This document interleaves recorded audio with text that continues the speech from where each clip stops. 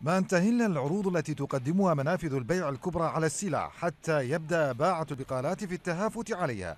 وذلك عبر اللجوء إلى حيلة شراء منتجات العروض من منافذ البيع بكميات ضخمة وبيعها بأسعار مضاعفة طمعا منها في زيادة ربحيتها.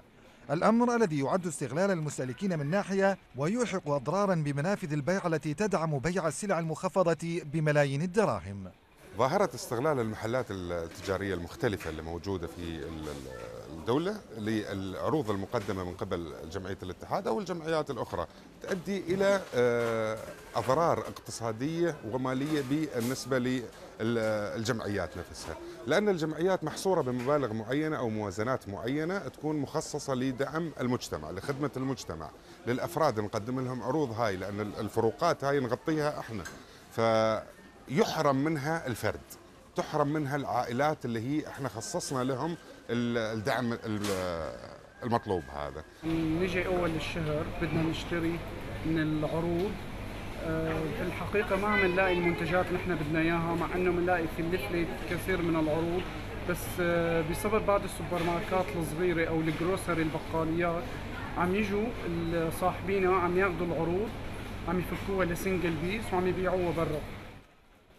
وتدرس وزارة الاقتصاد خيارات تستهدف منها ظاهرة شراء البقالات للمنتجات والسلع المخفضة من منافذ البيع الكبرى.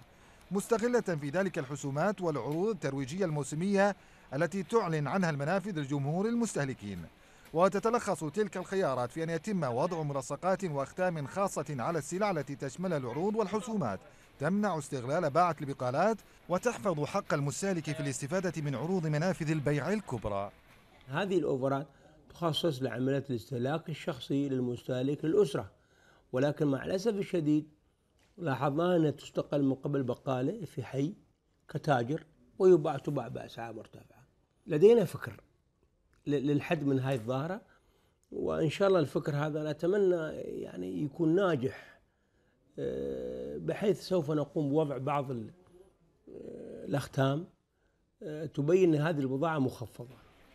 ويعمد الكثير من باعة البقالات في استغلال شراء منتجات تحمل عروض منافذ البيع الكبرى وذلك لبيعها بأسعار مضاعفة ضحيتهم فيها المستهلكين الذين لا يرغبون في الذهاب لمنافذ البيع الكبرى لشراء احتياجاتهم ويفضلون شراءها من البقالات لقربها من مسكنهم.